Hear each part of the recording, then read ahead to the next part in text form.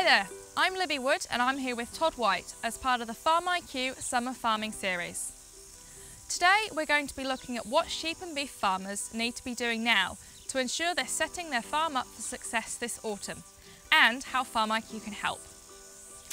For sheep and beef farmers, a big part of preparing uh, for autumn is about making sure ewes recover after weaning, so they are mated in top health and condition to maximise their potential to conceive. It sounds like plans and actions this season are critical for next season's success. How can Farm IQ help make this easier? To inform good planning, we need to monitor the current situation. With ewes, it's monitoring body condition to identify variation across the flock it's critical to draft off low condition ewes from the main flock and preferentially feed them prior to mating. In Farm IQ, you can create different mobs of sheep and plan their grazing using the stock rotation planner. Farmers use it to allocate mobs to paddocks and it determines how long each paddock will last based on how much feed is required. Farmers often wonder if it's the same ewes that always end up in the low condition mob.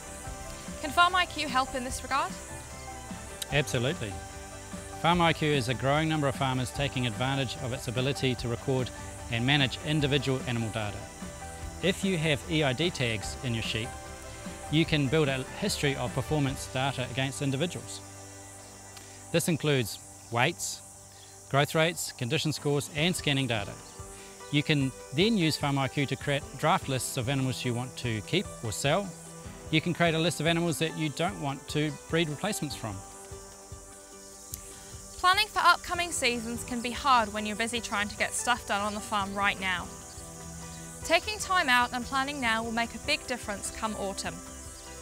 Using Farm IQ to support the planning process can help reduce the burden and ensure things don't get missed.